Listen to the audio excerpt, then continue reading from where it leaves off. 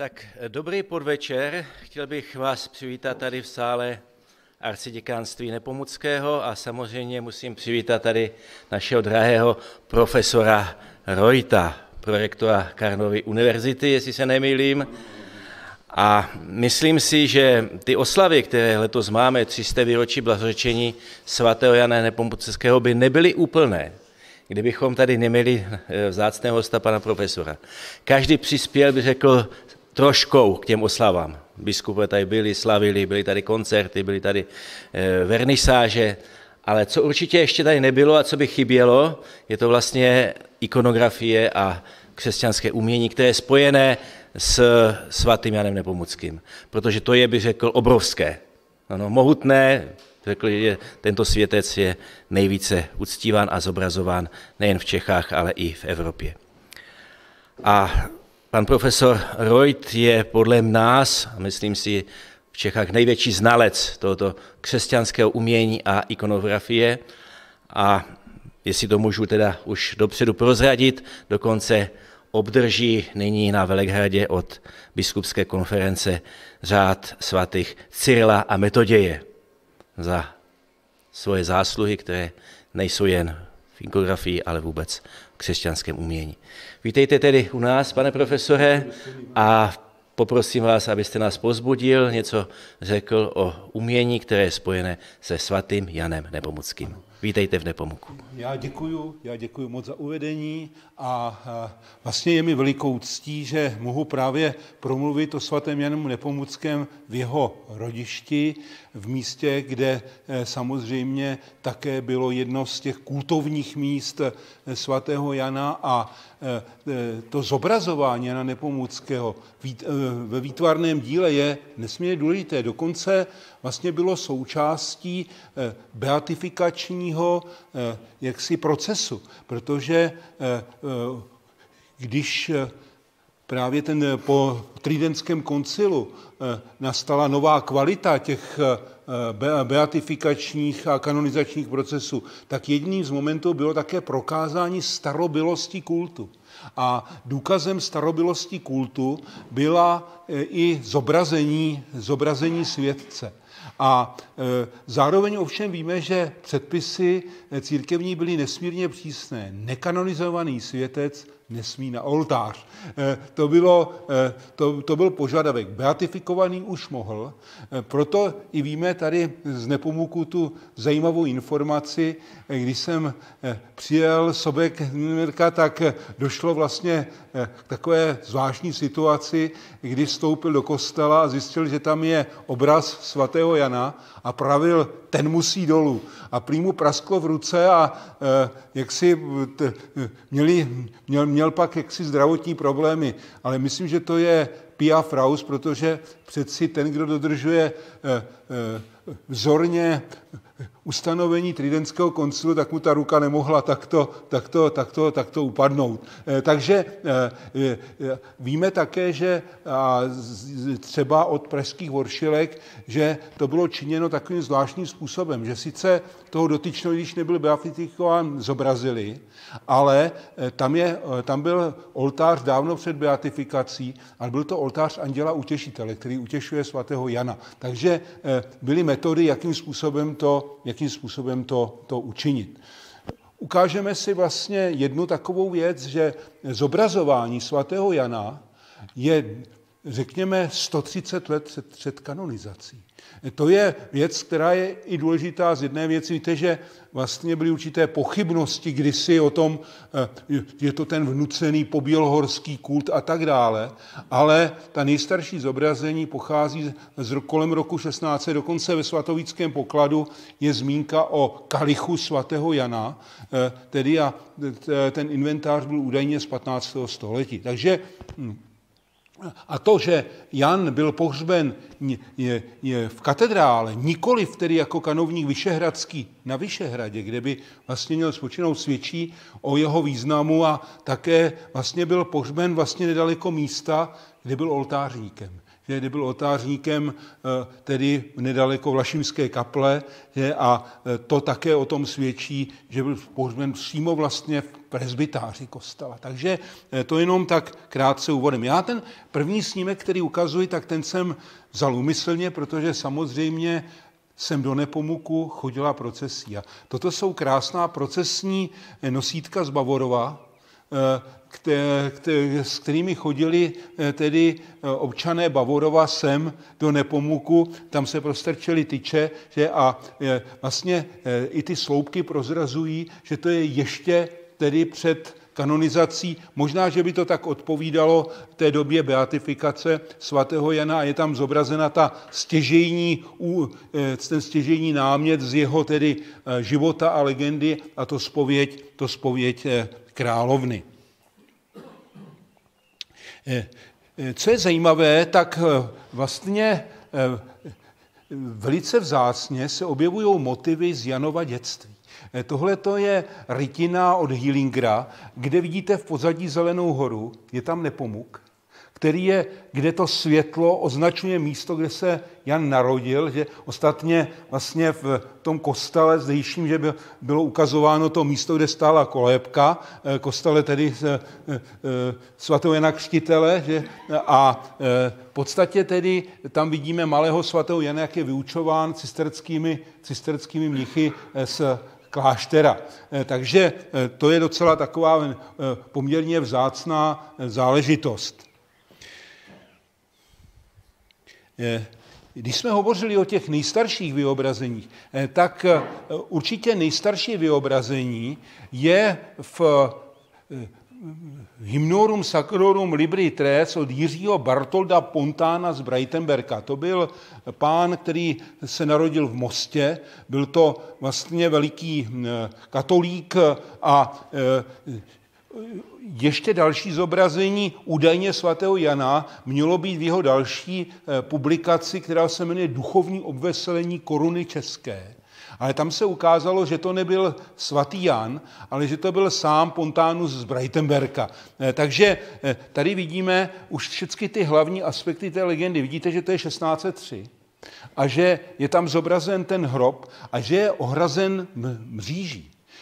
Hroby významných mužů, aby se na ně nešlapalo, tak byly vždycky ohraženy mříží, aby nebyly, aby nebyly jaksi zneuctívány právě tím pošlapáním. Víme dokonce z legendy o svatém Janu a z, e, popisuje to pak Bergauer Protomartyr Poenitencie, že ten, kdo šlápl na hrob svatého Jana eh, i omylem, eh, tak vždycky to bylo spojeno s nějakým trestem. Eh, jenom takový příklad, už, který napsal krásnou knihu Vestigium Bohemie pije stopy zbožných Čech a právě ten, když byl jako malý chlapec, tak stál s otcem, šel uctít české zemské patrony do katedrály a z rozpustilosti šlápl na hrob svatého Jana. Když pak prý kráčeli po Karlově mostě, eh, tak eh, eh, když došli na to místo, kde byl Jan svržen z mostu, tak ten kluk tam uklous, spadnul do louže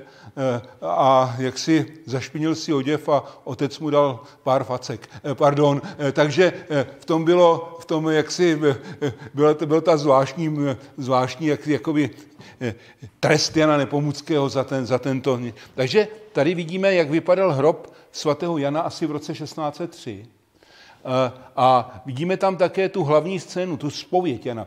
Vidíme, že vlastně takový byl způsob spovědi.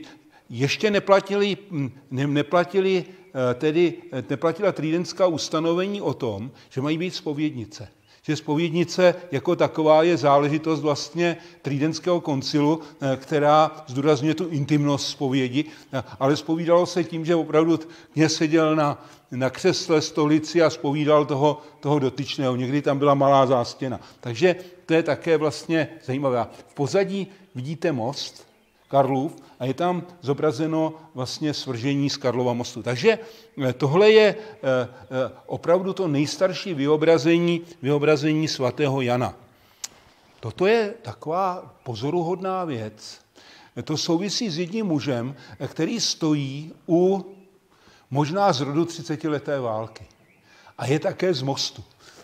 Je to opad takzvaného broumosko-břevnovského archistéria právě Wolfgang Celender z Proškovic, jehož rodina byla katolická, pocházela také z Mostu. A to je onen opad, který nechal zbořit luterský sbor v Broumově, že, což byl jedna z těch důvodů pak defenestrace Slavaty, Martinice a dalších. A proč to ukazují? Protože, přátelé, Eh, tam vidíme české zemské patrony, vidíme tam zvláštní ikonografii svatého Vojtěcha. Vojtěch je tam zobrazen s kostelem totiž. Je tam zobrazen i Crha a Strachota, tedy Cyrila Metoděj. A mezi nimi eh, je tam pět svatých bratří a mezi nimi takhle eh, vykukuje ten takový muž, a to je, to je svatý a nepomucký. Takže vlastně toto je jedno z... Ten epitaf je datován 1609. Takže už roku 1609 byl zobrazen ve sboru českých zemských patronů. Takže tady vidíme, že skutečně ten kult se vlastně rozvíjí 130 let, 120 let před kanonizací. Což je eh, vlastně také důkaz eh, opravdu síly toho svatojánského kultu a, a eh, pak máme i další Skutečně ten kult se začal rozvíjet především v katedrále svatého Víta Václava a Vojtěcha. A eh, tohle to jsou vlastně dveře, které vedou dneska tam, jak je takzvaná nová zakristie, ale tyhle ty dveře byly původně hlavní dveře do kostela, kde vlastně víme, že, ten, že katedrála byla nedostavěna, byla tam stěna. V té stěně byly, byl portál a k tomu byla ta Volmutova kruchta. A do, do, ten vstup byl opatřen těmito dveřmi Kašpara Bechtelera. A co tam, kdo tam je vlastně zobrazen, tak je tam zobrazen Johannes Beichtiger, Jan Spovědník. Ano? A e, vidíme tam vlastně, že tam je zobrazen již v té klerice, má tedy má komži, že? a e, má v ruce drží knihu, to je to je atribut, který se objevuje vlastně v těch starších, starších dobách, kde eh, také pak Balbín životopise zdůrazňoval jeho vzdělanost a jeho věrnost písmu a, a, a, a tak dále. Jo a rochetku samozřejmě má. Jo, nemá, nemá ji sice ještě krajkovanou, ale eh, tu rochetu tam je, je prostě oblečen jako kanovník. Je tady zdůrazněn jako kanovník. Tak. A je zobrazen se svatým Ivanem. Ty dveře jsou datovány 1630. Eh, tenhle ten obraz je dodnes v bednách kanceláře prezidenta republiky. Proč?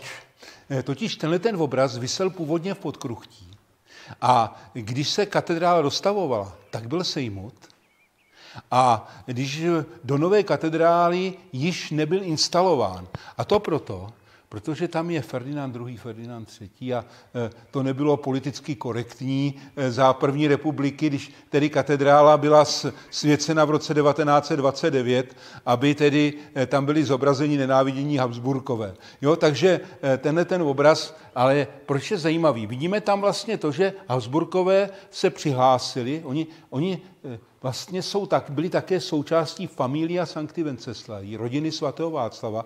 Je to dokonce provázáno s takzvaným mariacelským zázrakem, že podle vlastně toho, eh, jak si se vzdal eh, sen jednomu z těch tedy eh, z moravských knížat, kterému se zjel svatý Václav, aby založil, aby založil místo v Mariacel, což je sakrosanktum Habsburku a tím se vlastně jakoby provázali se svatým Václavem. Dokonce tohle to bylo zobrazeno i na svaté cestě z Prahy do Staré Boleslavy. A co tam vidíme nahoře? Vidíme tam Ludmilu a Václava, jak drží model katedrály a takhle vlevo, ono je to špatně vidět, je zobrazen svatý Jan, je tam zobrazen už svatý Norbert jako, jako patron země české, ale ten Jan je tam zobrazen, to je také kolem roku 1630. Vidíte, že vlastně již kolem roku 1630 je Jan Nepomucký vřazen do zboru českých zemských patronů. Tedy eh, je to, je to opravdu věc velice, velice významná a pozoruhodná. No a tady to se bezprostředně vztahuje k Nepomuku. Jeden z těch nejstarších vlastně životů ilustrovaných životů je Fáma posthuma od Jiřího Plachého. Já jsem tam právě vybral tuhle tu ilustraci, kde vidíte opět Zelenou horu. Vidíte tam vlastně to světlo, které ozařuje to místo Janova narození. Ano. A počněte si jedné věci, to je také zajímavé. Jan eh, v te, na těch nejstarších vyobrazení je spíš zobrazován jako starý vousatý muž. Postupně mládne pak.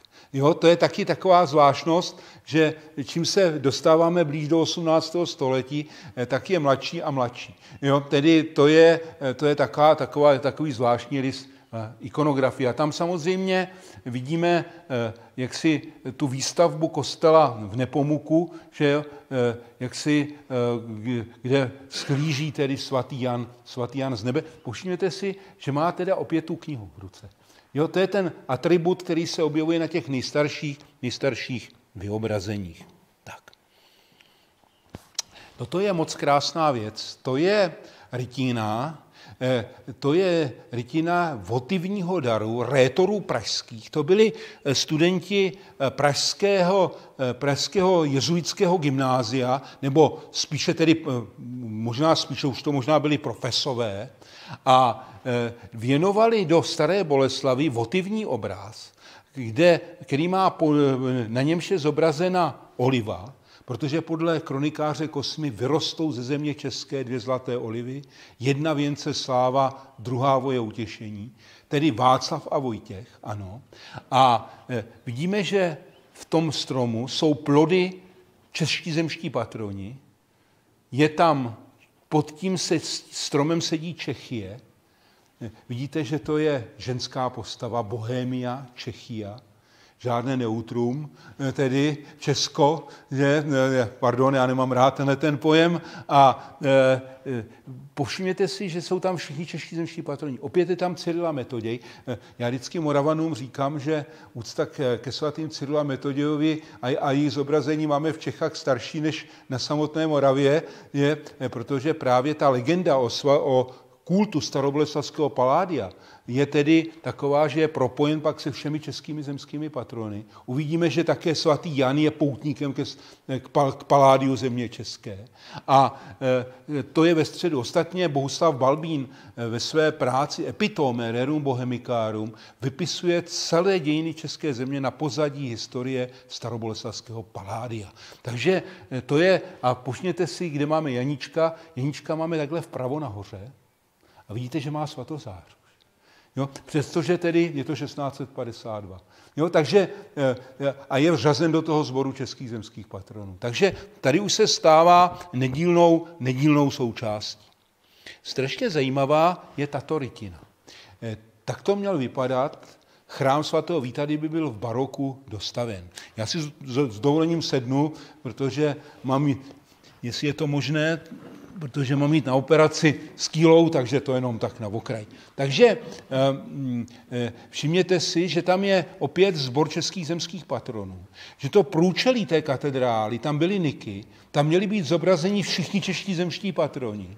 A v tom sboru českých zemských patronů je opět vpravo svatý Jan, svatý Jan Nepomucký.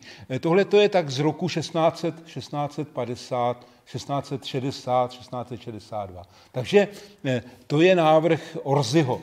Eh, eh, možná, že dobře, že se to nerealizovalo, že pak se realizovala ta dostavba, dostavba až vlastně té katedrály daleko později. Tak. A k těm ještě starším vyobrazením. Tohle je údajně svatojánská Vera Efigies, obraz, který prý vysel na staroměstské radnici. Eh, bohužel se nedochoval, ale dochovala se tahle ta rytina. A vidíte, že opět to odpovídá tomu, co jsme si říkali. Jan je tady zobrazen s knihou, má tedy eh, komži, má tedy eh, rochetku a má kleriku a v ruce ještě drží teda palmu, to je další atribut, který vlastně k tomu přibývá.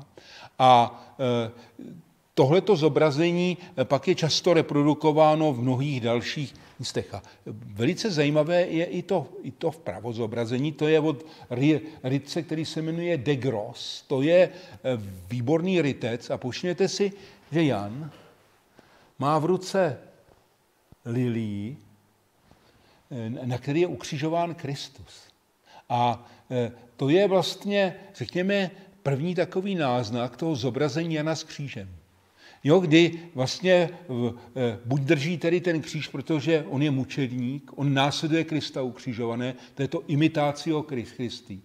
Proto má i zřejmě pak těch pět hvězd, protože to je poukaz na pět stran Kristových, i když víme, že to může být i poukaz na ono takový mlčel, ale mně se spíše líbí eh, ta interpretace, že to poukazuje na ty rány Kristovi a je, je to, jsou náležitost právě s tím křížem jako, jako takovým. Tak. Tohleto, a to není náhodou, protože si pošněte, že tam je štemberská hvězda, je rytina, kterou si objednali Štenberkové. Samozřejmě ty hvězdy, které pak byly ve spojení se svatým Janem, eh, tak ty Štenberky jistě inspirovaly. A ostatně tady eh, Zelená hora je spojena se Štenberky. Tak prosím, to je nejstarší cyklus svatojánský, eh, zřejmě ze 70. let 17. století. Jsou tam vlastně zajímavé epizody. Je tam samozřejmě mučednická smrt, eh, Jan tam vlastně klečí, opět má, má v ruce eh, palmu. Že jsou tam všechny ty scény, včetně tedy toho zázraku s tím hrobem. Vidíte, tam je vlevo, to je jeden z také z těch zázraků, to rozkotání toho jeho, jeho hrobu v roce 1619. Já tady si musím ještě připomenout jednu věc, a já jsem to s tím argumentoval, protože jsem byl vždycky stoupenec postavení Mariánského sloupu eh, v Praze, že jaksi eh, to násilí a rozbití katedrály kalvínským kazatelem s kultétem vedlo vlastně i k rozbití hrobů eh, tedy a, a, a zničení té ohrady toho hrobu. A údajně tedy podle eh, legendy měl ten, měli ten, ten jeden z těch eh, kalvínských kazatelů ho měla ranit mrtvice. Takže to je takto, takto spojeno. Takže to je velice zajímavé, velice zajímavá věc. Co je pozoruhodné, že ten kult svatého Jana poměrně záhy proniká i na Moravu. Eh, ono Jihlava je na tom českomoravském pomezí, že to je, to je ale eh, tohle to je eh, obraz svatého Jana Nepomuckého v kostele svatého Jakuba v Jihlavě. To je docela, to je docela zajímavá, zajímavý obraz. Stejně tak, jako tento obraz od Antonína Skojance v kostele svatého Tomáše v Brně, ten je z roku 1700. Takže vidíme, že před beatifikací už měl prostě své obrazy dokonce i na Moravě, což je vlastně docela taková zajímavá věc, že ten jeho kult se začal vlastně šířit dávno jaksi před eh, tím, tím, vlastním, tím, tím vlastním aktem. A my se už blížíme k té beatifikaci, kterou si teď připomínáme a e, víme, že kanonizační proces v době baroka to nebylo vůbec jednoduché. Eh, eh, otcové jezuité byli pověřeni, aby znovu prověřili kriticky životopisy svědců, to jsou ti takzvaní bolandisté, že tedy a samozřejmě příprava procesu byla velice náročná. Na Strahově, ve Strahovském klášteře je celý konvolut, takzvaný vunšvický konvolut, ve kterém jsou účty, co stála beatifikace a kanonizace. Takže my víme, jakým způsobem to jako probíhalo. A e, víme, že e, ostatně to bylo i se zázraky, kdy se prostě museli být vyslýcháni světkové, ty byly vyslýchány v češtině, v němčině, to se muselo přeložit do latiny, samozřejmě, aby byly tedy podklady pro tu kanonizaci. Teď ještě se to prověřilo, aby to bylo objektivní. Eh, eh, víme třeba z Klatov, že když se prověřovaly zázraky, klatovské taumaturgy, eh, tak to bylo vráceno generálním vikářem Pražské a arcidieceze proto. Protože, a prosím, teď budu genderově nekorektní, byly vyslychány pouze samé ženy. Protože samozřejmě ty byli, muži byli řemeslníci, tak přes den do kostela moc nepřišli, přišli ráno nebo večer a ty ženy byly svědky těch zázraků. Tak on to eh, vrátil a, a skutečně oni velice byli přísně dbali na to, aby byly dodrženy určité objektivní, objektivní důvody. Tak. A e, samozřejmě tou přípravou byl pověřen Bohuslav Balbín a Ondřej Šambogen e, ten přípravou. No a e, víme, že došlo k jedné takové nešťastné věci. E, e, byla tam jistá řevnivost mezi Tom, Tomášem Pešinou z Čechorodu a Bohuslavem Balbínem. Tomáš Pešina z Čechorodu, co by tedy kanovník Svatovického odmítl pustit do kapitulního archivu a řekl, že si to vypublikuje sám všecko. A eh, Balbín tedy neměl přístup k některým dokumentům a dopustil se oné osudové chyby v onom datu. Že tedy, eh, jak si spletl datum 1393 a 1383. A právě proto, když se slavilo výročí, tak v roce 1683 tedy jubileum Janovy mučednické smrti, tak proto byla socha postavena 1683. Jo? Eh, my víme, že eh, vlastně tahle ta chyba v tom datu eh, zapříčinila také poměrně veliký odstup mezi beatifikací a kanonizací, protože víme, že Prosper Lambertini, jeden z velkých jaksi mužů koncilu, z velkých mužů Říma, si toho všiml, protože on měl ten dopis Jana Zinštejna. Znal, že to byl ten generální vikář, co byl mučen, 1690, co byl mučen 1390. A tak Čechům řekl, ale pánové, to si musíte vyjasnit. Tak který to je? jo, je to, je to tak jako zajímavé a e, pak se to teda nějak jako neobjasnilo e, a e, vlastně zůstalo to při tom Eh, datu 1383. Eh, no ale proč je to tak důležité? Protože samozřejmě vlastně zase 40 let před beatifikací a před kanonizací na Karlově mostě stála socha svatého Jana Nepomuckého. To je strašně důležitá věc. Najednou světec měl sochu. Ano, ale pozor, když známe nejstarší vyobrazení, ta socha měla sice svatozář, ale neměla těch pět hvězd. Těch pět hvězd se objevuje až po beatifikaci. Ano, to je taky další taková, taková zajímavá věc. No. A e, skutečně byl pověřen Matias Rauchmiller, e, vynikající sochař, který pracoval ve Slesku, e, aby vytvořil hliněný model pro sochu. Podle toho hliněného modelu vy, vyřezal Jan Brokov, otec Ferdinanda Maximiliána Brokofa, eh, dřevěnou sochu, která je dneska v kostele svatojana na Skalce, ale původně byla v takzvaném Vunšvickém domě, který byl na Václavském náměstí, ale podle nařízení Josefa II., když byly zakázány eh, soukromé kaple, tak byla přemístěna ta socha, socha právě do kostela. A podle té sochy v, v Norimberku odlil Hieronymus Herold tu bronzovou sochu. Ten sokl, tady si, ten sokl je také zajímavý, protože ten sokl je podle návrhu Žána Batisty Mateje. E, to je významný architekt, až, e, to je ten architekt, co navrhl kostel křížovníků s červenou hvězdou.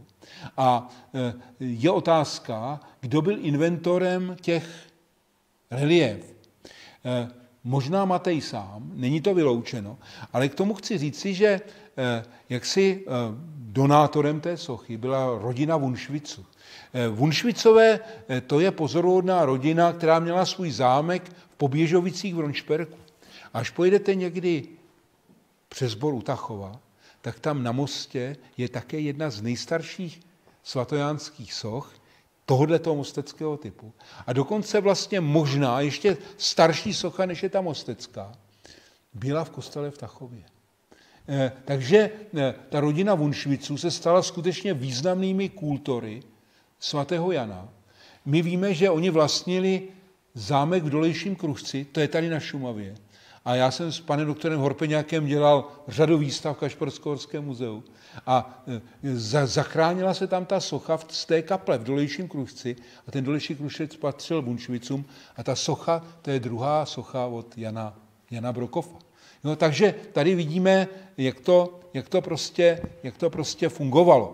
A Samozřejmě ta socha byla postavena, protože ty sochy měly být postaveny na pilířích, aby to nezatěžovalo ten most, tedy ne na místě, kde byl Jan svržen. Víme, že to místo je opatřeno tím křížkem, že a e, tam je těch patero, patero hvězd.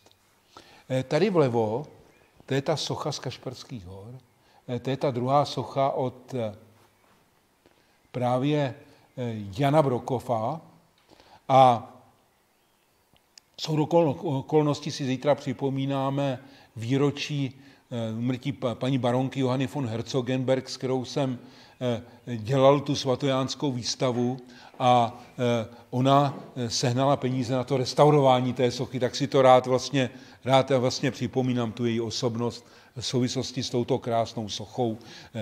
Ten Jan Nepomucký je komponován takovým zvláštním způsobem. Vždycky jsme se dohadovali, co znamená ta podložka, na níž má tu nohu. Ale on je to spíše efekt, efekt prostorový, eh, sochařský, že on eh, vlastně Michelangelo říkal, že do sochy se má vstupovat eh, jaksi nikoli frontálně, ale po té diagonále, že takže ona, skutečně ta noha je vysunuta na té desce, jako by ten Jan, je, je, je, je, jako dynamizuje to tu sochu, jako takovou. Tak. A Eh, tady vlevo vidíme, to je rytina z jedné nejstarších takových publikací o Karlově mostě. A počněte si, že tam nemá těch patero hvězd. Jo, tady je ještě Jan bez hvězd. Ty hvězdy se mu tam skutečně dostaly jako obrovská zásluha. Je to vlastně jediný, Panna Maria má 12 hvězd, imakuláta, a hlava jí ozářena byla 12 hvězdami. Ale žádný jiný světec církve nemá okolo hlavy hvězdy. To je opravdu výjimka pro svatého, pro svatého Jana. A e, už jsem o tom hovořil, že e, vlastně těch patero hvězd e, znamená Pětran Kristových, protože prostě je to ten mučedník, že, který následuje Krista ukřižovaného. Je zajímavé, že ten typ e, té mostecké sochy e, se pak rozšiřuje po eh, celých Čechách. To, co to je zobrazení vlastně ve Skramníkách 1715, že eh, těch soch je opravdu, těch soch je opravdu vlastně eh, po celých Čechách desítky, které jsou toho takzvaného mosteckého typu. Vždycky to prostě poznáme podle toho soklíku, který vystupuje přes tu, přes, ten, přes tu diagonálu, že a je to, byl, byl prostě velice oblíben tenhle ten, tenhle ten, tenhle ten typus. Tak. A přicházíme k proměnám Janova hrobu. Přirozeně, jak si eh, hrob je důležité místo. A také součástí vlastně kanonizačního procesu bylo ohledání ostatku. Proto vlastně byl problém, s kanonizací nebo beatifikací svaté Anešky, protože prostě nebyly ostatky. Není tělo, není kanonizace. Eh, to, je, eh, to, je, to bylo eh, trídenské a prostě pokud nebyly hodnověrné ostatky a ohledány ostatky, tak prostě kanonizace nebyla. A já vždycky ukazuji jeden studentům u nás jednoho lékaře, který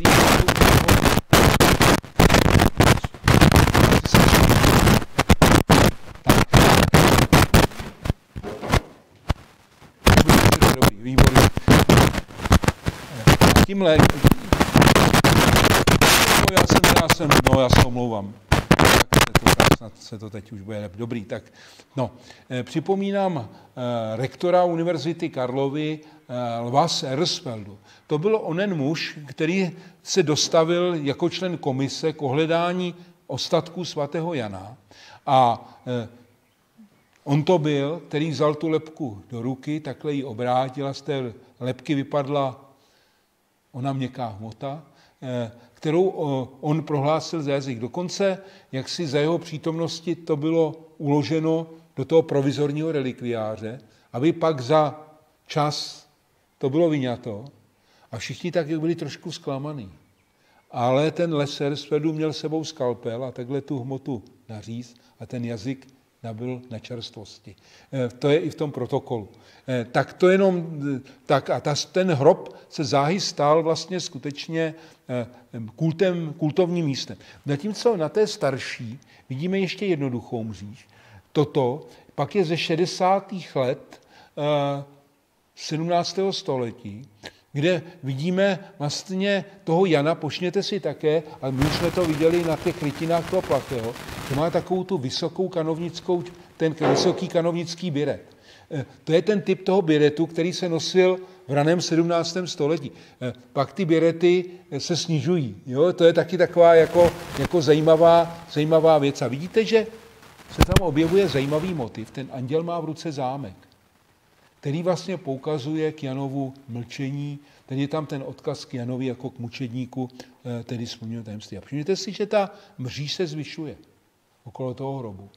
A už je tam ten svícen, eh, takzvaný jeruzalemský svícen na tom hrobě, s těmi, s těmi rameny, které nechal pořídit voda Leopold Wilhelm a na, tom, na těch ramenech toho svícnu to bylo v 70, 60. letech, byly postavy českých zemských patronů, včetně svatého Jana Nepomuckého. Takže, eh, eh, a tady máme další posun k tomu, k tomu kultu toho hrobu Janova. Tedy, jak vypadal hrob svatého Jana 1692. Vidíte, že to byla taková koruna, na němž je socha svatého Jana. Už se tam objevují Eh, cnosti, je tam víra, naděje, láska, ale také síla, fortitudo.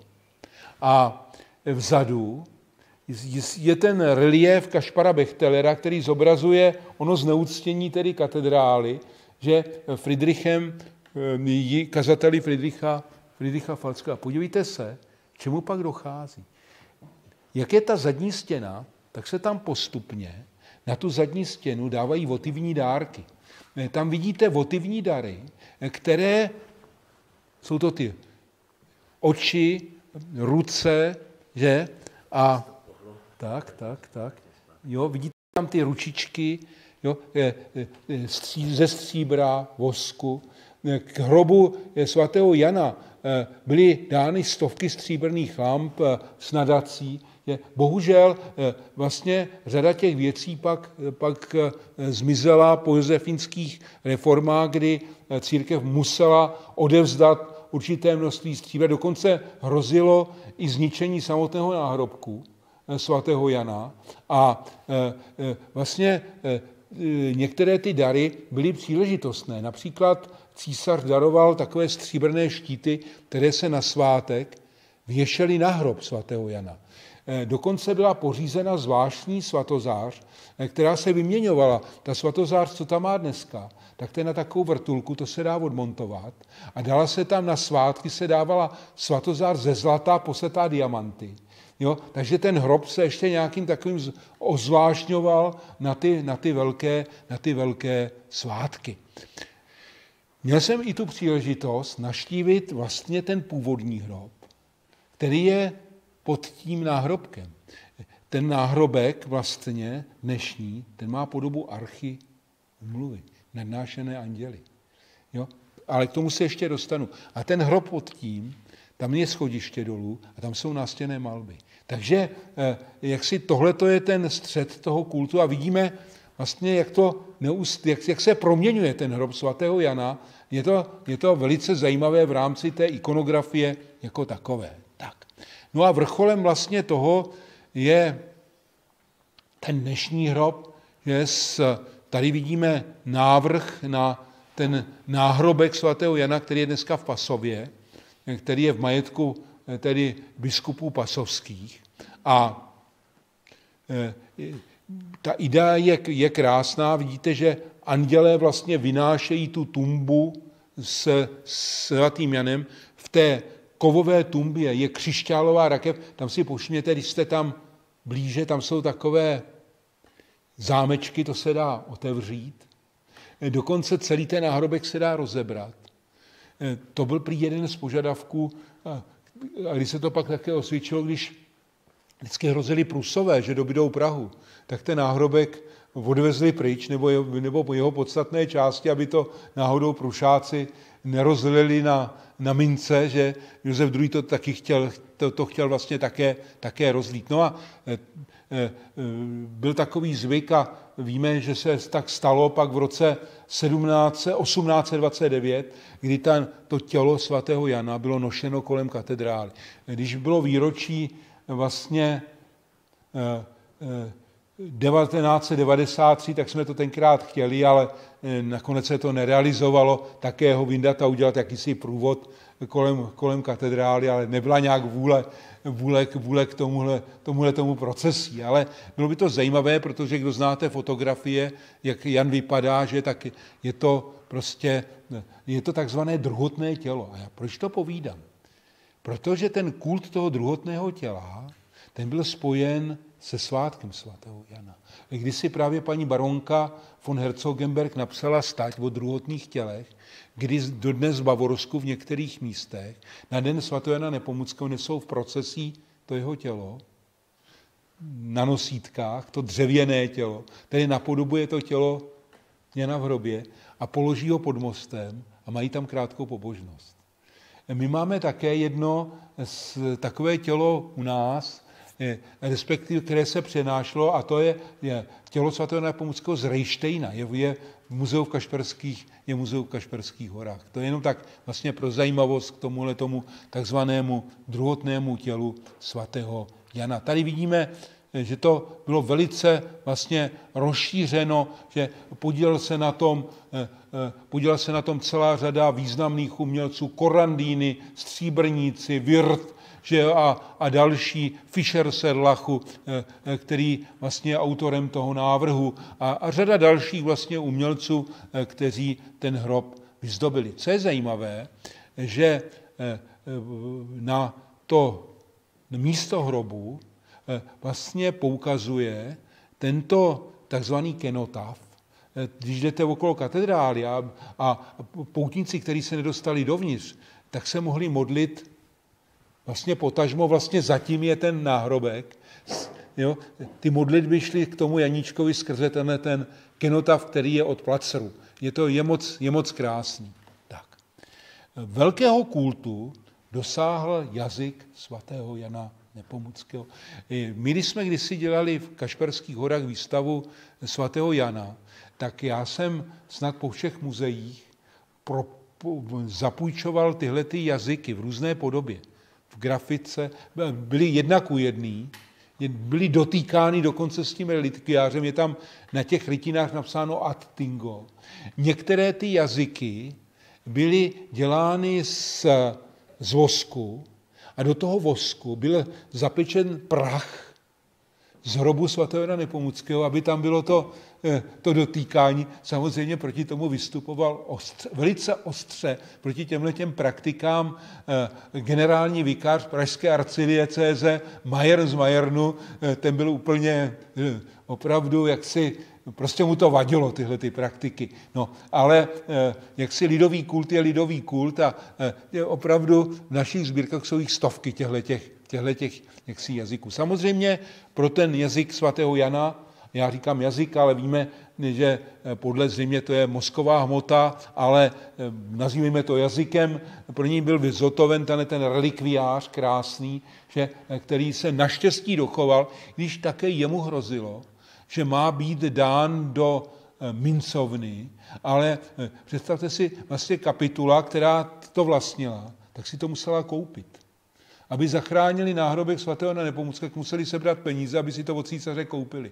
Jo, takže ono to také nebylo úplně, eh, jo, eh, protože prostě hold světská moc je světská moc někdy. No. Eh, tak tohle je, ano?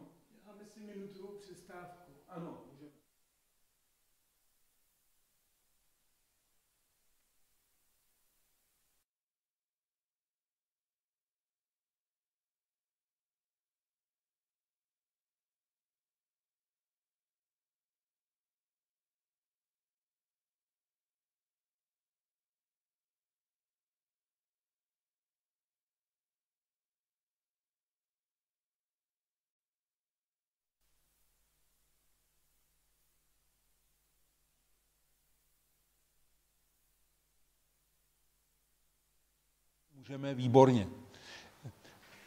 Toto stříbrné antependium se nachází také v katedrále svatého Víta, je souvisí prostě eh, také s těmi slavnostmi, eh, tedy svatojánskými, které se tam odehrávaly. No a přicházíme k jedné věci a to je životopis svatého Jana, ilustrovaný životopis, eh, který je fantastickým zdrojem ikonografie. Ten, to je životopis od Bohuslava Valbína, o tom už jsme hovořili, a ten životopis je vyzdoben rytinami od Andre, Andrease Fefla. Povštěte si, že na tom titulním listu je Jan zobrazen ve společnosti všech Janů církve svaté naší obecné. Je tam dokonce s Janem Sarkandrem, je tam s Janem Almužníkem, Janem Křtitelem, Janem Evangelistou a dalšími Jany. Ostatně není vůbec náhodou, že pak kanonizace proběhla v San Giovanni in Lateránu, v chrámu obou Janů. Jo, je, to, je to taková moc zajímavá ikonografie. V tom životopise pak je vždycky eh, nějaká ilustrace, kde je nějaká legendická událost, něco z jeho života. A je tam vždycky vybrán ten příslušný svatý Jan, který svým příběhem byl blízko tomu zázraku nebo to, co se tam dělo. To je velice, jak, si, jak bych to řekl, promyšleno, jo, jak, jak, jak to Balbín jako tedy vzdělaný jezuita jako provedl. Jo, to, to mě fascinuje, tenhle ten, tenhle ten, tenhle ten motiv. Tak a přicházíme, přátelé, máme výročí beatifikace, která tedy se odehrála velice slavně. Eh, před tím průčelím té nedostavěné katedrály architekt Shore, eh, to byl významný architekt, postavil příležitostné brány. Vidíme, že ty příležitostné brány jsou gotizující. Máme dokonce, víme, jaké ikonografické programy tam byly. A vidíte to procesí, vlastně beatifikační, které tam je, které tam je dáno. Co bylo třeba, aby byl Jan beatifikován a kanonizován? No zázraky. Museli být nejméně čtyři. Myslím, že dneska už jich stačí dva, eh, jestli se nemýlím. Je, to, no.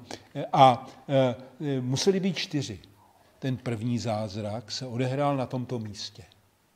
Kdy to je kostel svatého na Hračanech, ale od roku 1700 tam sídlili voršilky, byla tam kaple svatéAny, a jistá tedy Terezie Veronika Krepsová si zranila ruku.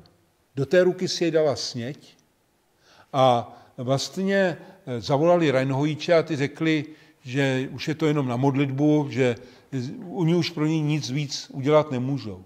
Takže tato dívka se modlila, eh, v noci se jí zjevil svatý Jan a řekl, že když obejde pražské kostely, tak se uzdraví.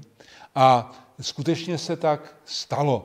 A na tom místě vlastně pak ten, ten zázrak se stal 1701 a vlastně 1720 ku příležitosti beatifikace začal Krištof Dicenhofer stavět kostel, který byl vlastně do, eh, vysvěcen 1729, tedy v roce kanonizace. A ten kostel je vyzdoben nádhernou nástropní malbou od Václava Vavřince Reinera. A počněte si, dneska tam je oltář, který tam nepatří. Ten oltář, který je v tom kostele svatého Jana, je z kostela svatého Vojtěcha, který stál u Prašné brány, ale byl zrušen.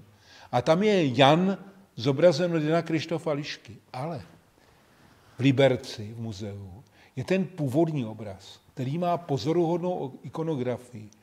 Jan Nepomucký je na něm zobrazen od Václava Vřince Reinera ve společnosti světic uctívaných v řádu Voršilek. Je tam se svatou Voršilou, se svatou Angelou Meriči, ale, přátelé, je tam zobrazena i Zdislava z Lemberka, svatá Zdislava z Lemberka, protože abatyší toho kláštera byla Berková z Dubé a Berkové z Dubé, eh, tedy Zdislava byla z tohoto, z tohoto rodu a byla zpřízněna s tímto rodem.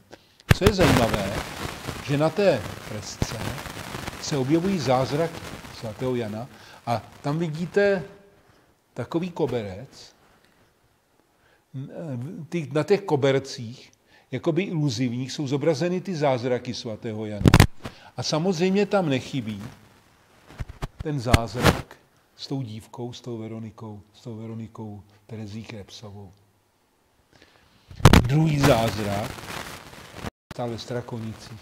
Eh, to je ten známý zázrak, že s tou eh, dívenkou Hodánkovou, že, která tedy spadla pod ten mlínský náhon a, a zázrakem se tedy zachránila, když se jí, a, a když se jí ptali, jako k čemu došlo, že, tak se nejprve omluvila rodičům a, a řekla, no, eh, jak si objevil se takový pán eh, a když se jí ptali, jak vypadal, tak ona pravila, jako ve Strakonicích u nás na mostě. Eh, takže eh, to je ta socha strakonická, že, která tam zřejmě byla v době svatého Jana, svatého Jana Nepomuckého. Co je strašně pozoruhodné, jsou oslavy kanonizace. Eh, ty byly absolutně velkolepé.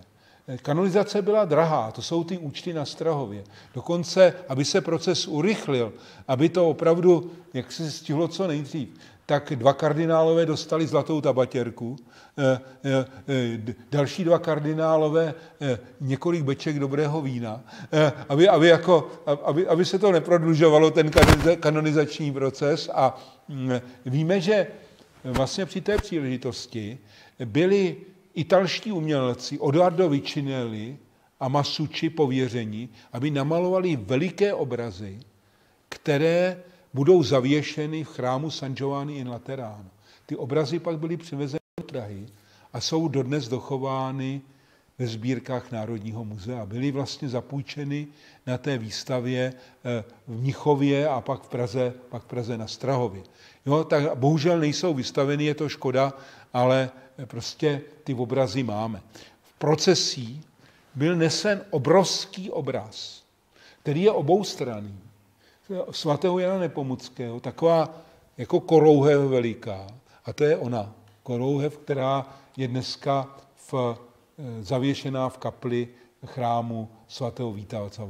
Víme také, že a tady máme tu kanonizační bránu z roku 1729 a z té máme dochovány také určité fragmenty. Ta brána měla takový zajímavý ikonografický program tempus tacendi a tempus solquendi. Čas mluvení, čas mlčení. Uvidíme, že proto, pak jak Jan z Pomuka, Jan z Nepomuka, je zobrazován ve dvojici se svatým Antonínem Paduánským. Protože Antonín Paduánský je, také byl vlastně v jeho hrobě nalezen jazyk. A Antonín Paduánský je ten, který tím jazykem kázal a Jan je tím, který tím jazykem mlčel. Jo, tak to je takový zajímavý, zajímavý program. Proto vlastně pak svatý Jan je patronem kontrafáma eh, proti pomluvě. Jo, eh, jo to, je, to je taky to je moc zajímavé. Uprostřed té slavobrány byl svatý Jan, jeho vera Efigie. A co je strašně ještě pozoruhodné, přátelé, že třeba mezi věžemi Týnského chrámu byl v těch, při těch slavnostech napnut obrovský obraz. Umíte si to představit? Já teda moc ne. A před každým řádovým kostelem byla udělána slavobrána oslavující svatého Jana. Žáci jezuitské koleje se oblíkli jako čeští zemští patroni a vítali nového nebešťana do zboru českých zemských patronů. Pod Karlovým mostem pluli vory hrající muziku na Vális, to je ta tradice na Vális, která tam byla, protože pod tím Karlovým mostem byla taková kaple, která pak samozřejmě při povodních byla zničena, která byla věnována, věnována svatému Jánu. Tak. No a v té katedrále se objevují i další obrazy. Tohle to je zajímavá věc. Svatý Václav přemlouvá svatého Jana, aby prozradil spovědní tajemství Králům dokonce mu nabízí, ně, někdy se tam objevují, eh, eh, objevuje se tam, že mu nabídl, že bude proboštem vyšehradským, že bude, dokonce biskupem a tak dále, když prozradí, prozradí tedy spovědní, spovědní tajemství. Ten pes je tam samozřejmě jako narážka na to, že ty dogy jeho zahubili tedy královnu Johanu na Karlštejně, ale zimě to byla nešťastná, nešťastná náhoda. Tak. Co je pozoruhodné? Přátelé, až někdy budete u Vladislavského sálu, eh, tak je tam takzvané vězení svatého Jana. Já nevím, jestli jste tam někdo byli. Já jsem na to přišel náhodou. Tam je prostě taková komůrka, kde je eh, mříž a za tou mříží je takováhle socha klečícího svatého Jana. A to je to vězení svatého Jana Nepomuckého. To, o tom málo kdo ví. A, je, a právě to vězení pak bylo takto napodobováno. Je tam takováhle mříž, to je přesně takhle to tam vypadá. Ano. A tohle to je nápodoba toho vězení z kostela svatého Karla Velikého a Pany Marie na Karlově. Tedy vězení, vězení svatého Jana. Tak. Tady to je taková ukázka, také vězení svatého Jana. A samozřejmě velice oblíbeným se stal námět svatého Jana jako poutníka ke staroboleslavskému paládiu. Ostatně, až půjdete do Staré Boleslavy, eh, tak na fasádě je samozřejmě svatý Jan s paládiem, protože on byl tím poutníkem ke staroboleslavskému paládiu. Eh, je tam oltář svatého Jana, protože tam jsou všechny čeští zemští patroni, kteří měli vztah k paládiu. A vidíte, tohle to je schrobol. Tam je dokonce, tam jde na pouť do Staré Boleslavy svatý Jan. E, to je taková docela vzácná ikonografie. Vidíte, že tam je jako poutník a kráčí skutečně. Jo? Má, má hůl a tak. No. Jan je mariánský, jako mariánský ctitel. To je na této rytině, že e, samozřejmě e, tady vidíme, to je krásná rytina jako, jako, ctitel, jako ctitel Pany Marie. A Velice často je právě zobrazován se staroboleslavským paládiem. Toto je zobrazení v Mariánské týnici, kde má ten štítek se staroboleslavským paládiem. Tak. No a přicházíme ještě k některým památkám spojených s kanonizací. Jan má svoji Vera Effigies. Toto je ten slavný obraz Ledvinkus Adlerfelsu, který byl považován vůbec za nejstarší obraz zobrazení svatého Jana, takzvaná svatojanská Vera Effigies. Ano. A e, on je trošku mladší teda, jako pak se, pak se prokázalo. E, je ještě před kanonizací, ale je mladší. Tak. A toto je to druhotné tělo svatého Jana Nepomuckého, o níž jsem hovořil.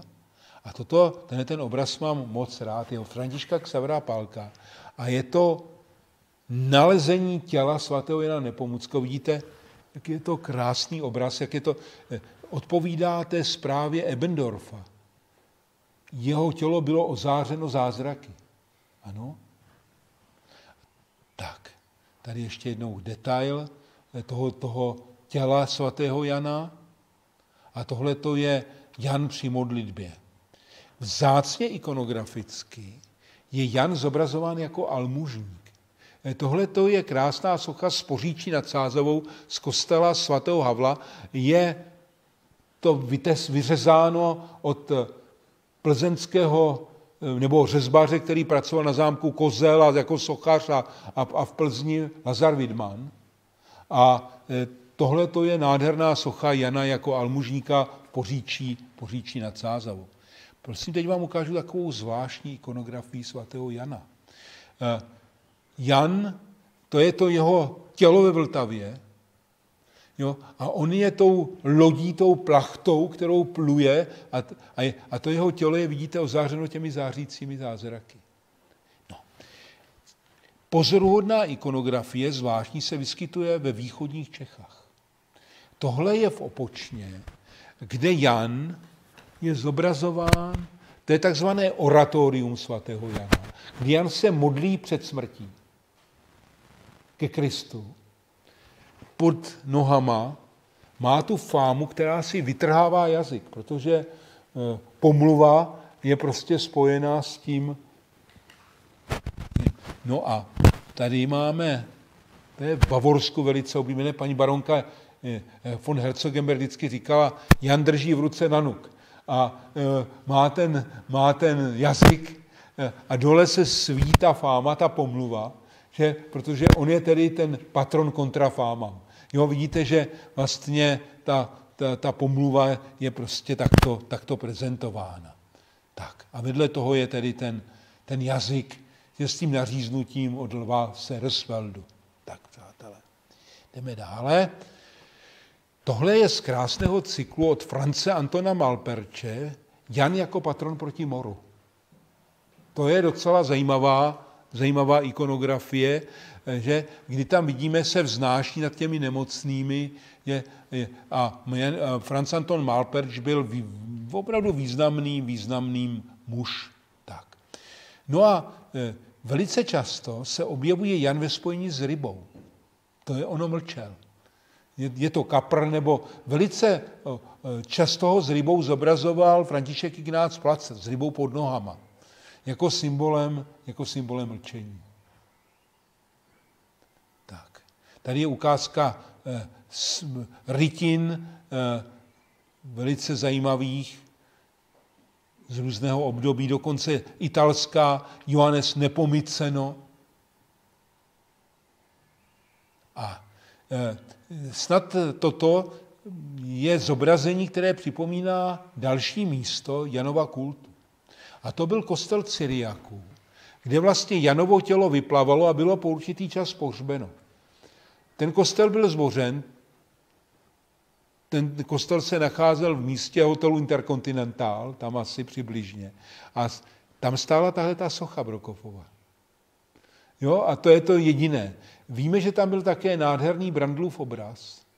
Nalezení těla svatého Jana, ale ten se nám nedochoval z toho, z toho kostela. To je velká, to je velká škoda. Tak. A teď se věnujeme ještě některým sochám. Toto je socha z katedrály 1696, kdy vlastně na křížení jsou pilíře. A na těch pilířích, jako sloupech církve, se objevují všichni čeští zemští patroni, tedy opět před beatifikací svatý Jan, svatý Jan Nepomucký. Je to od Františka Prahize. To samé vlastně je na Hračanském náměstí, kdy ku příležitosti moru, který zřádil v roce 1715 až, 1700, až 1713, se objevuje svatý Jan, kterého utěšuje anděl. Tam to také krásně vidíte. To je od Ferdinanda Maximiliana, Ferdinanda Maximiliana Brokofa. No a opravdu ten almužník, to je velice častý motiv, ten už jsem ukazoval, eh, tam to je pak Černěvesku, na Podřibsku. Eh, Tohle to mám moc rád, to je z Děčína. Eh, sousoší původně z Děčínského mostu. Na němž vidíme, je od Brokofů také, svatého Jana ve společnosti svatého Václava a svatého, svatého Víta. Důstojný pán tady řekl, že to je náš nejznámější světec. Ano.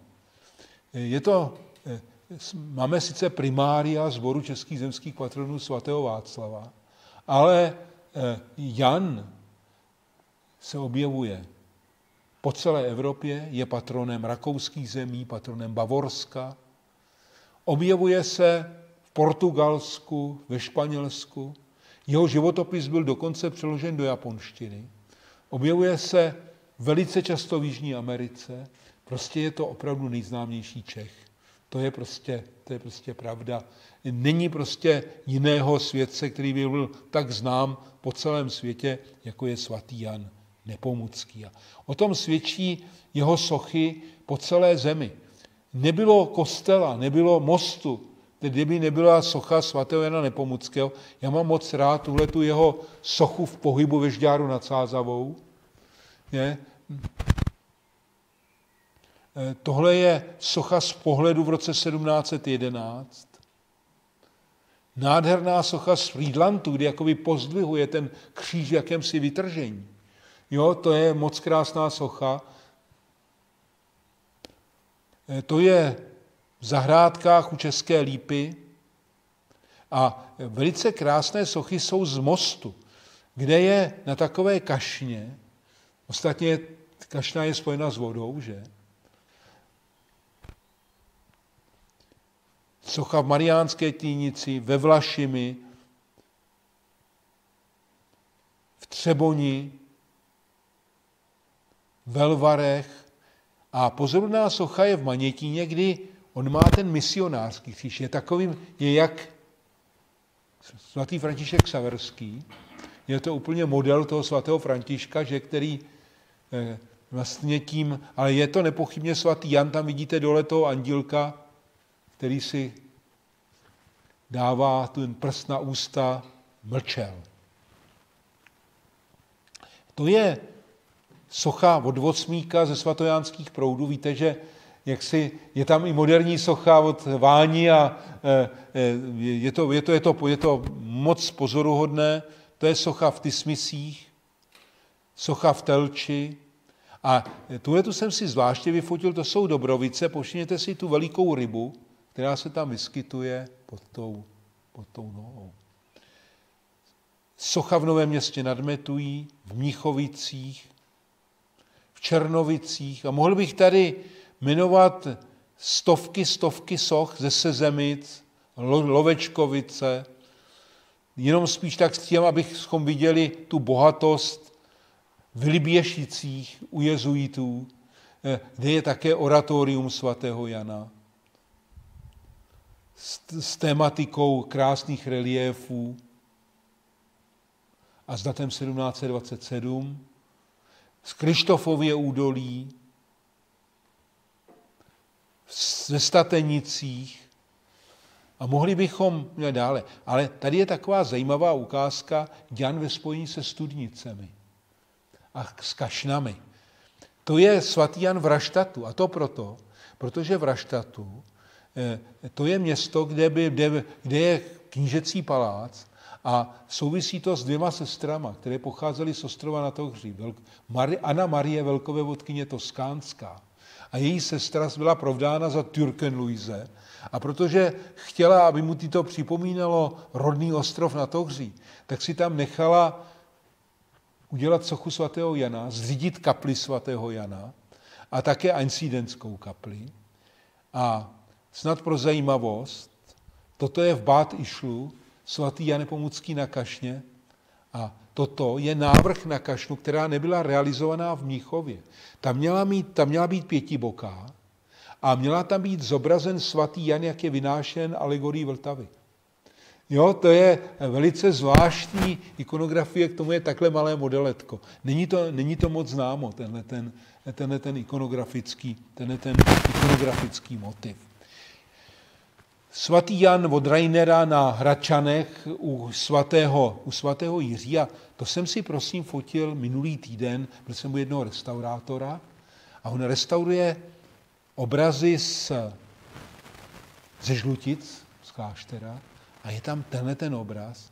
Jan společně s Antonínem Paduánským, vidíte, jsou tam dva jazyky. To je to, jeden ten jazykem mlčel, druhý tím jazykem mluvil.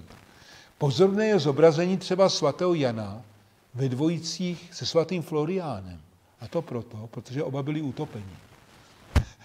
Jo, je to, to jsou takové ty zvláštní ikonografické záležitosti. No a samozřejmě nechal jsem si a patřičnou pozornost budu věnovat svatojánským poutním místům.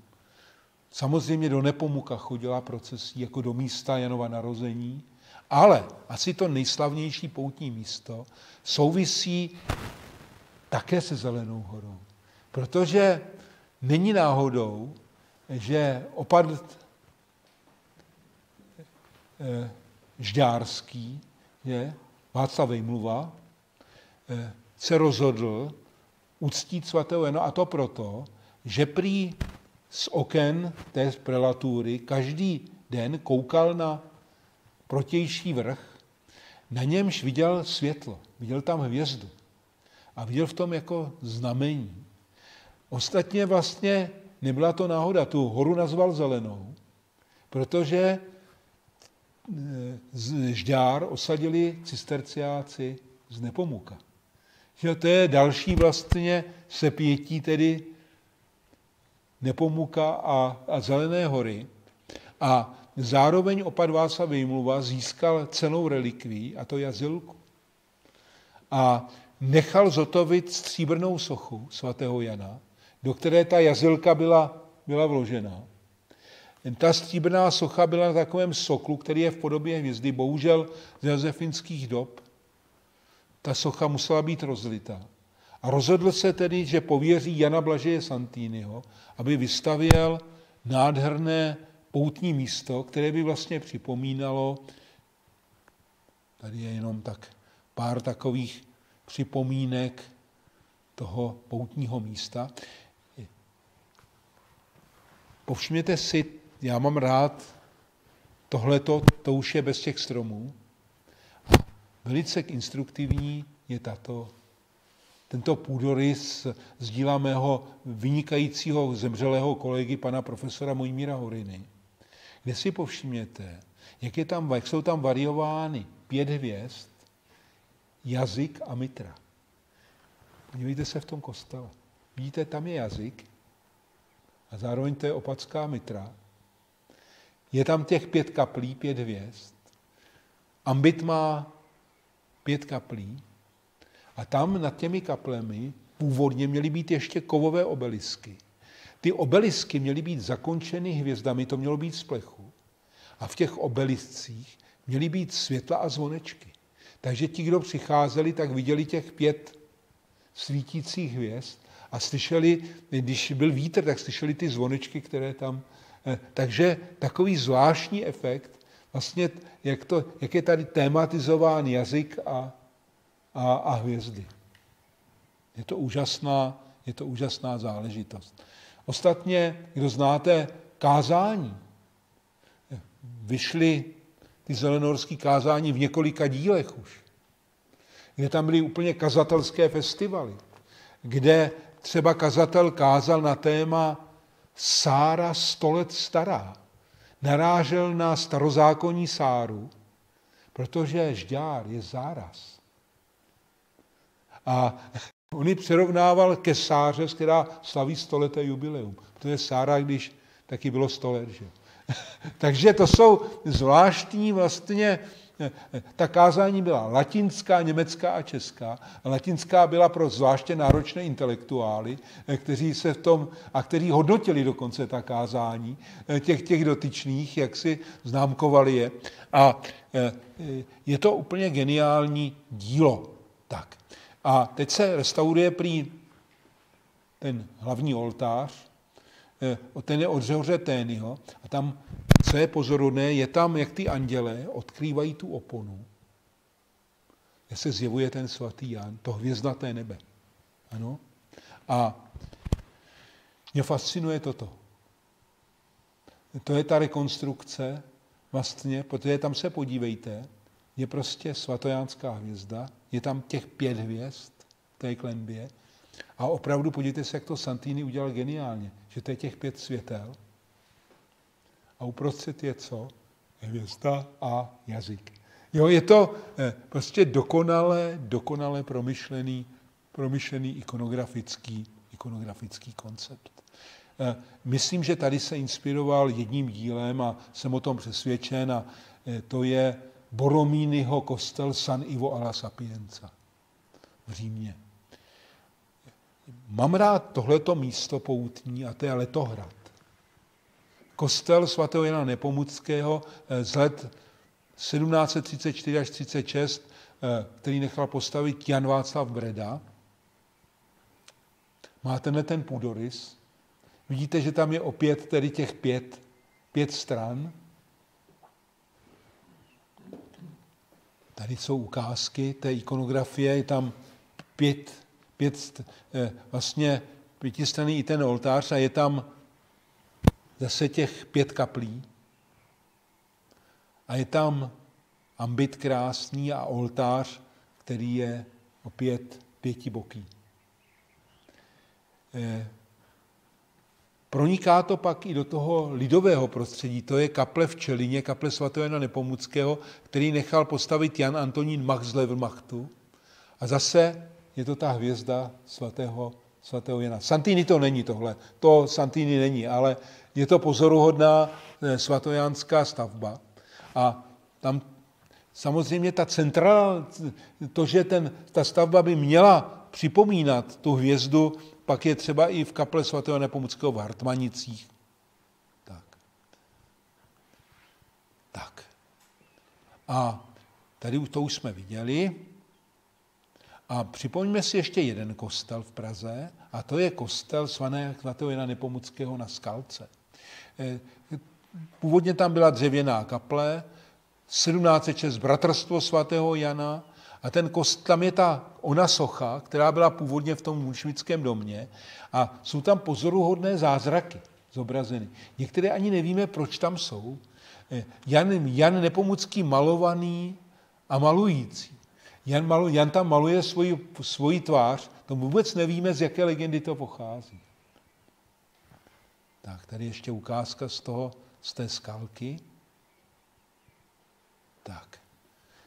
No a na závěr jsem si tady nechal jednu krásnou stavbu, která souvisí s Míchovem. Eh, tedy takzvaný Asamkirche, eh, tedy vlastně soukromý kostel bratří Azamu. Kosma Damián a Quirin Egit Azam eh, byli bratři, kteří vyzdobili řadu kostelů. V Čechách si připomeňme. Freska na Bílé hoře, kostel svatého Mikuláše, výzdoba v Kladrubech.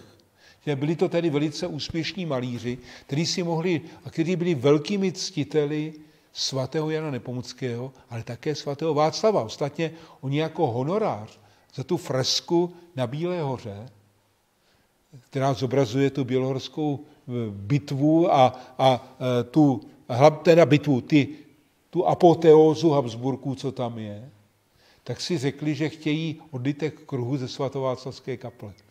A samozřejmě je nádherná výzdoba toho kostela svatého Nepomuckého, kde se objevují i zvláštní motivy.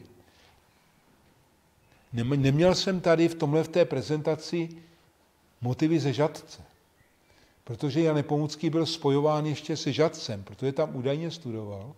A podle legendy Balbínovi v žadci na kostele bylo napsáno slovo hasil. A to bylo spojováno s Janem Nepomuckým jako autograf svatého Jana. Proto vlastně, až pojedete někdy do Žadce, tak je tam kaple svatého Jana, oltář svatého Jana a motivy ze života svatého Jana, který připomínají tedy to jeho údajné působení v Žadci. My víme ale, že on byl arciánem žateckým. Takže eh, je tam spíše tahle ta připomínka, eh, připomínka vlastně jeho, jeho živá. Tak. A na závěr, přátelé, jsem si nechal ještě takovouto kresbičku. Eh, to je od V.H. Brunera, která ukazuje na paradox českých dějin. Dva Janové. Jeden tedy, který byl utopen, druhý, který byl upálen. A pod tím je takový ironický nápis, oheň se s vodou nesnáší. A, e, e, e, což svědčí tedy o jakémsi podivném humoru, humoru našich předků. A ještě tam je nápis, národ se musí rozhodnout mezi tebou nebo mnou. Jo, takže já myslím, že kult z našeho milého rodáka Nepomuckého svatého Jana prostě je kult světový, kult eh, světce, jehož prostě sochy zdobí prostě celý svět a eh, eh, světce, jehož ikonografie je nesmírně bohatá, jak nikadého světce v našem, v našem prostředí. Takže jsem se tady pokusil toto bohatství vlastně vám ukázat a máme být asi právem na co hrdý. Svatý jen oroduj za nás. Děkuji vám za pozornost. A rád samozřejmě zodpovím na jakýkoliv, na jakýkoliv dotaz, eh, který, který je. Jestli je tady vlastně z pléna nějaký dotaz, tak samozřejmě rád, rád zodpovím. Jo, abych to nepřišla. No nemáte záč. Taky děkujeme ještě za toho Jana Zjenštejna Jo. v tom březnu. Jo, jo, jo, bylo to, jo, bylo, bylo to, já jsem se pokoušel, aby to bylo nějak jako přístupné, no, já jsem zvyklý online přednášet, takže já si musím to takhle ještě. Dobře, děkuji moc, děkuji, jste hodný, děkuji moc. Takže máte prosím někdo nějaký dotaz k té svatojánské problematice? Ne, ano, pan, paní dáme, dám, dáme dámě přednost.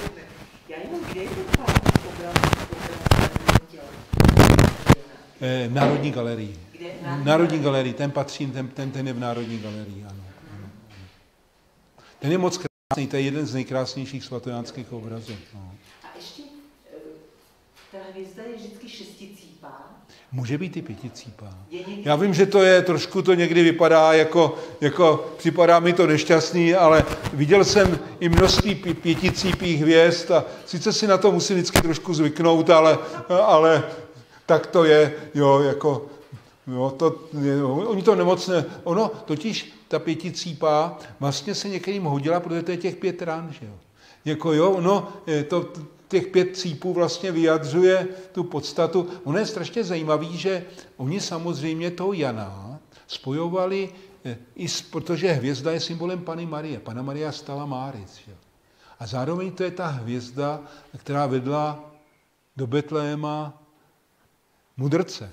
A ono se to v těch kázáních, kázáních na té Zelené hoře objevuje. Je tam, je tam jedno kázání o třech hvězdách. Hvězdě svatojánské, hvězdě, jo, protože prostě on byl ctitel Pany Marie.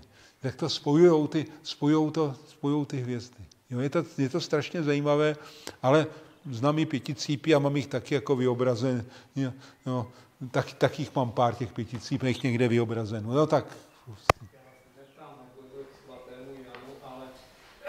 ke jménu, které tady taky padlo, Zelená hora, Urťáru a tak dále. Santýny, jak se díváte na teď tu dostavku toho ambitu v Mariánské týnici? Já jsem o tom teď četl jeden článek, teda názor, ten tam to kritizovali. Přátelé, já jsem, já jsem spiritus agents, Eh, takže já se na to dívám pozitivně, protože já jsem Irině Bukačové pomáhal, aby ten ambit byl vybudován a já se za to nestydím. Dokonce eh, si myslím, že eh, tady uniká jedna věc, že, to, že tam jednak chceme, aby to mělo i duchovní účel, to místo, aby to nebyl jenom mrtvá dostavba a sloužilo to vlastně, ten ambit je, je prostě dostavěn technologiemi, které tedy... Je, je to strašný rozpor mezi pamá, památkáři. Ale já, Jiří Kotalík, a tady musím vzpomenout, byl, já jsme a pár dalších, profesor Horina kdysi byl pro tu dostavbu a já jsem to bral jako jeho takové dědictví, že ty Ireně musím pomoct, protože to ten můj mír prostě chtěl, ten ambit, aby se to dostavilo. Ostatně se tam dostavila ta kopule, která spadla. A já jsem v archivech s tou Irenou Bukačovou pátral, co by tam mohlo být za fresky. A požádali jsme toho malíře zpěváčka, který, je, který udělal takový jako velice krásný fresky. Eh, a já jsem udělal ten ikonografický program, protože to lze udělat, protože to jsou, to se vztahuje k snostem Pany Marie. A jsou tam, je to strašně zase sofistikovaný, je tam vždycky světec cisterciácký, který byl ctitelem Pany Marie. Jo, takže dá se to vlastně eh, identifikovat, co, co by tam by původně mohlo být. Jako za, za které. Já vím, že Milena Bartlová napsala, no, eh, ale tak má, hejte se, jsou názory různé. Eh, já si myslím, že prostě to místo slouží a bude sloužit, budou se, teď tam bude, bude tomu žehnat Eh, pan biskup z Plzeňský a pan kardinál přijede prvního, že jo, eh, tak jsme si říkali, eh, hejte se, jestli ten to místo má pak jako sloužit, já, to, tam, takhle to mělo být. Nebylo to dostaveno proto, protože přišel prostě Josef II. No, jak si, jo, takže já, jsem, já se přiznám, že se na to dívám pozitivně prostě tak. No, to je taky, tam je taky ta debata, tam je taky ta debata, ale to samé byla debata na ty Zelený hoře, eh, dostavět ty podle těch původních plánů dostavět ty obelisky. To se snažil profesor Horina. Eh, a eh, tam vlastně taky je to poškozeno. Že jo? Tam to bylo poškozeno požárem a tak dále. My jsme tam dosazili ty sochy. Tam na té zelené hoře, to málo kdo ví, byly ještě sochy, které symbolizovaly Janovy vlastnosti. Jeho čistotu, že jo? jeho zbožnost a tak dále. Jo? A dělali se tam nahoře, ano. Já jsem, to, to, to, to, to dělali zase restaurátoři, víme, já, myslím, že Růžena, teď nevím, teď to jméno jsem zapomněl, ale já jsem právě podle fotograf, podle Gritin, že jo, a tak jsme to dávali dohromady. Takže já jsem pro tu mariánskou týnici. No, to, to, to, to, víte, jaký byly útoky na, na mariánský sloup, že jo, to, a myslím si, že dneska je tam velice, já vždycky, když jdu přes eh, staroměstské náměstí a chodím tam denně, tak jsem rád, že ten sloup tam stojí. Prostě. Tak. No, to moc není, ale to, to je jiná věc. No. Třeba jo. Pane profesor, já si trošku dovolím odlehčit. Jste tady diskutoval o tom eh, šest cítů nebo pět cítů na hvězdách svatého Nepomuckého. Město Nepomuk má partnerské město tady v Bráně eh, nad Bavorském do, Horno, do Hornofalska, jmenuje se Kemnat. Tam je několik soch svatého Jana Nepomuckého. Když jsme procházeli to město, kde je o něco málo větší než Nepomuk, tak na hrázi rybníka stojí socha svatého Nepomuckého a na svatozáři má osm sedmicípých hvězd. Já jsem se setkal starosty, který stál vedle mě, jestli mi to může nějakým způsobem vysvětlit, eh, že to nemá tu symboliku, kterou to má mít. A že má těch hvězd víc a ještě mají víc cítů. A on se tak na mě podíval a říká, no zkrátka, asi na to tady máme. Pak jsme šli ještě teda, ještě jednu zajímavou sochu jsme viděli tam, která stojí za to říct, eh, byla v takové předzahrádce naproti cukrárně a byla úžasně přebarvená, jako ta hrála třeba a, pardon. a on říká, o, o tu se stará,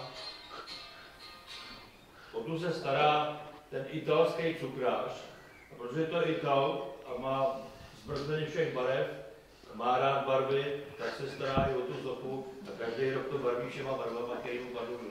Tak to jsou takové zajímavosti jenom, že člověk jde a sleduje, jak... Jak ten lidový kult, jak to, jak to, jak to, jak to funguje. No, no, no tak, ale tak proč ne? Proč ne? Proč ne? Ale je fakt, že řada těch soch je prostě opravdu jako velice krásných a hodnotných a, a je ještě velký štěstí, i přes ten co jsme si tady prožili, že ty sochy prostě jsou a na těch mostech, co je třeba strašně zajímavý, že eh, řada soch svatého Jana Nepomuckého byla zničena v roce 1918.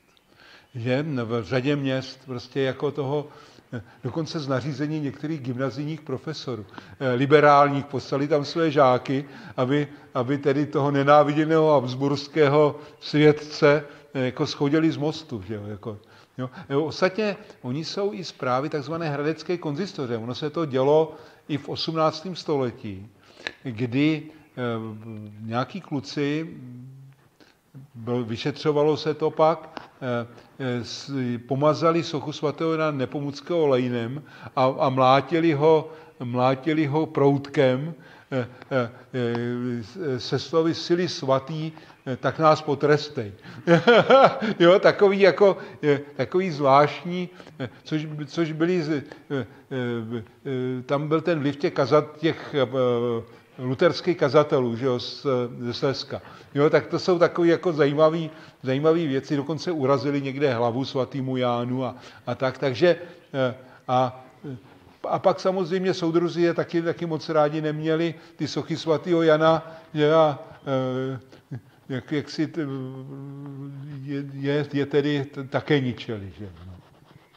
A víme vlastně, že tu nenávist vůči svatému Janu, kterou měl Zdeněk Nejedlý, že který, který dokonce došel k tomu, že žádný svatý Jan nebyl. Že? No, ne, je to, je to opravdu jako, ono, já, já osobně teda mám velice rád publikaci, starou publikaci Stejskalovu o svatém Janu, to je taková starší věc, pak samozřejmě Polcovu, jo, a nejnovější je ta Vlnasova kniha, ale ten Polc, eh, eh, zvláště to, co vyšlo v, Řím, v Římské akademii, to vyšlo ještě dvoudílné. Tady pak bohužel vyšel jenom ten jeden díl, ten druhý díl z pera Rineše nevyšel. Že jo? To, to jsem docela litoval. Jo, a to je moc pěkná publikace. Já jsem ještě pana profesora Polce znal z Katolické teologické fakulty, kde učím, takže jo, to byl eh, muž, který vlastně to velice dobře znal, protože já mám od něj tak jako podepsanou jeho doktorskou práci z Říma, kterou napsal v latině o eh, na svátku naštívení Jana Zjenštejna. Že on byl ještě jeden z těch, co to takto velice dobře zvládl. Tak, no, tak to jenom i k té literatuře, která je jako docela bohatá, ale musí si člověk vybírat, jako co, je, co je dobré a co, co není úplně dobré. Že? No. to je to navštívení Jana Zinštejna? Eh, to je, on vlastně, Jan Zinštejna, eh, byl eh, vlastně ten spiritus agent svátku naštívení Pany Marie. A on, existuje takzvaný kodex Jenštejn, ten je ve Vatikánu. A on tam v tom, to je traktát, on sepsal takový jako teologický pojednání, ve kterém je takováto podstata. Co se dělo, když se setkala Alžběta s panou Marí, co dělali ženy a co dělali ty děti. A je, on byl jeden z těch, který jak si přišel první, a pak se to objevuje v ikonografii, že svatý Jan Křtitel se začal modlit v prenatálním stádiu k, ke Kristu. A co je, je, a co je ale zajímavé, že toto odmítl muž hrozného rozumu, Vojtěch Raňkův.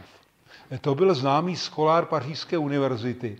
A ten dělal posudek na toho Jenštejna do Říma. A e, e, jak, jak si on byl takový ten teolog, který mu tohleto přišlo příliš spekulativní. Jo, on byl takový ten teolog aristotelovského, aristotelovského zrna. Takže to jenom, to je ta podstata, podstata toho spisu a je, pan profesor Polc to tedy publikoval a, a můžete dokonce se podívat i na ty obrázky, to, ten z Vatikánu je dneska přístupný na internetu a jsou tam ty krásné iluminace, kde opravdu ten malý Jan Křtitel klečí v tom eh, bříže, bříže tedy svaté Alžběty a modlí se, modlí se ke Kristu, že který mu žehná. Jo, je to, je to, je to taková zvláštní, jako, a dokonce v některých ženských klášteřích ve Weinhausen se to dalo vyndat. Eh, tam bylo takhle otvírací ty, a dal se výmout to, to jezulátko a Jan Křtitel postavit na voltář. Jo, jako, bylo to teda jako hodně zvláštní. Ale to, tyhle ty věci se děly, protože já mývám jedny ještě přednášky na narození Krista. V ženských klášteřích to bylo velice častý. Nedávno zemřel, no, je to dva roky, jmenoval se Gregor Martin Lechner. To byl benediktín z Getweigů. Eh, který učil ikonografii a dějiny umění v Salzburgu na univerzitě. Napsal takhle silnou knihu, která se jmenuje Maria Gravida. A je to o, o celý o těhotný paně Maria. Ukazuje, že v těch ženských klášteřích byly, každá řeholnice měla sochu těhotné pany Marie. Kde na Vánoc, kde eh, vlastně v rámci adventu byl svátek očekávání porodu Pany Marie. A na ten svátek se dala na oltář Dobrý, mějte se krásně, já to jenom pak dořeknu a mějte se krásně. Dobrý. A eh, když došlo k Váno, když došlo na božího Vánoční, tak se otevřelo to bříško ty Pany Marie, bylo vyňato to jezulátko a měli středověké kolíbky a ty, ty, ty, ty, ty jezulátka dali do, do kolíbek. A ty kolíbky středověký máme dochovány. A to jezulátko má pohyblivé ruce a pohyblivé nohy a učili ho chodit ty jeptišky. A to, tohle to prosím je doloženo, s, ale ono to mělo velký vliv pro děti. Protože hra, to je ten komenský. Jo, to názorný. Hm. Jo? A je, je, to, je to strašně zajímavé tohleto. A to jsou ty prak, takzvané katolické praktiky, které pak tolik kritizovali. Ale eh, když eh, Komenský, to je strašně zajímavý, Komenský proti tomuhle nebyl. Je třeba zajímavá věc, že jezuité na Svaté hoře klidně půjčili tu posvátnou sochu dětem, aby si ji oblékali. Protože když si s tou věcí hrajete, tak tomu získáte vztah. To je, to je, on ten barokní kult je úplně trošku jiný. Ono se to někdy, ono to není, ty věci nejsou vzdáleny. Ty věci prostě sloužily. A socha nebyla něco mrtvého na oltáři, ale prostě tahle ta hra, to vlastně strašně lidi a ta účast na tom, ty lidi strašně přitahuje. Tak to jenom, to jenom spíše jako k tomu, eh, jako jo, je to, je tyhle věci, já to beru jako, jako součást, byla to taková součást pastorace. Tohleto, jo, ty věci. Dokonce to je, je, to pak souviselo i s Velikonocema, kdy vlastně řada těch Kristů měla pohyblivá ramena, skládali se do božího hrobu, že z toho kříže na, na Velký pátek a dokonce měli takový poutko a na Bílou sobotu se vytáhli na kladce z toho božího hrobu. Jo, je to, jsou to takové jako zvláštní věci, ale přesně to, co lidé jako, jako mají, jako je to prostě ta názornost. A, a podělili se na tom celé, celé obce, vzdobení božích hrobů a tak dále. Já si myslím, že tohle je přesně, my, to, my se na to jako díváme možná jako na takovou hru trošku, ale tam byla ta spolúčast těch lidí. No, to je, to je, to je já, já si myslím, že prostě tyhle ty věci musíme brát trošku jako vážněji i, i z, toho, z toho historického hlediska. Prostě, tak. Ano? Jestli si dobře vzpomínám Matyáše Majera z roku 1630, ano. co je na Pražském a má být v katedrále, protože je tam Ten jsem ukazoval, ano, ten jsem ukazoval. No, ano, a on, on je bohužel porád... Ve 20. letech eh, nemohl být v katedrále, Ano. to chápu, kvůli Habsburkům, ale jako máme rok 2021 a myslíte, že zase kvůli Habsburkům Ne, ne, ne, ne, ne. obraz katedrále? Eh, On bude, bude-li diecezní muzeum ve svatém Jiří, tak bude v diecezním muzeu ten obraz. Jo, to, je, to, to už je dohodnuto. Jo, protože ono v té katedrále přeci jenom už tam eh, tak je, je ta, ta koncepce těch věcí je tam trošku jiná, eh, tak se dá do diecezního muzea zrestauruje se už část toho obrazu je zrestaurovaná. Jo, a dá se pak do diecezního muzea. Prostě to, s tím je plánováno. To, to, Já jsem si říkala, jestli ještě dneska by Habsburk Ne, dneska to nevadí. Dneska, dneska, dneska by to, dneska už to nevadí. Já myslím, že naopak, já jsem teda eh, hostil na univerzitě a prováděl jsem eh, tedy eh, Karla Habsburka, že jo, sice samozřejmě někteří levicově orientovaní studenti s tím problém měli, no ale tak máme různé názory. No. Ještě, pane profesore, vy jste mluvil o té Dobrovici, to je na tom ano, ten, nám- to je v Dobrovici na, Je ten, Na, na tom náměstí, na, ten, na, na náměstíčku je ten svatý Jan, ta socha, takhle vpravo, jo, když tam, taky tam je taková jako na, tam u silnice, jo, takhle vpravo, když jedete, tak se tam, tak je tam, tak, tak tam, je ta Dobrovice. ta Dobrovice, ta Dobrovice, ta cukrovka se tam pěstuje, Ano, jo, ano. Dobrovická, tak, jo, takže tam je tenhle ten svatý Jan, je od placera, S tou rybou. s tou rybou, no, na který stojí na ty rybě, ale on to měl placer častější s tou rybou. Prosím? Že to měl František Ignác Placer častější s tou rybou. Jo, vyskytuje se to, no. A je to taková zajímavá ikonografie. Tak. Jo, mně se líbí to kontrafáma, v tom těch východních Čechách ty oratoře. To je jako, to je strašně barvitý a bohatý. Takže máte ještě, dámy a pánové, nějaký dotaz? Nemáte-li, takže vám moc děkuji za pozornost a i za vaše dotazy. Tak, tak, tak zase velice rád. Děkuji moc také za, za to, že jste se trpělivě tady s náma i se mnou tedy tu techniku takhle vydržel. Mám to tak.